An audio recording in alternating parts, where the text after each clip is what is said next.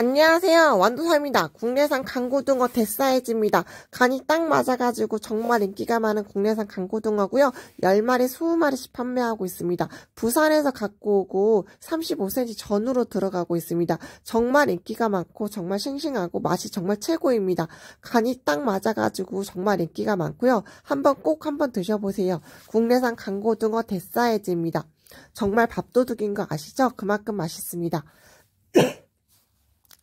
국내산 방건조 갈치포입니다. 대사이즈고요. 소금간은 되어 있지 않습니다. 20마리, 40마리씩 판매하고 있고 어, 겨울철엔 역시 국내산 방건조 갈치포로 조림에 드시면 굉장히 맛있습니다. 맛있는 밥바찬이 되니까 꼭 한번 드셔보시고요. 러시아산 코다리도 갖고 왔습니다. 가공은 국내서 했고요. 내장은 제거된 상태고 깔끔히 코다리입니다.